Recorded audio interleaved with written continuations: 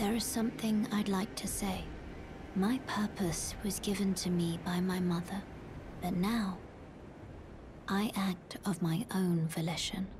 I have set my heart upon the world that I would have, regardless of my mother's designs.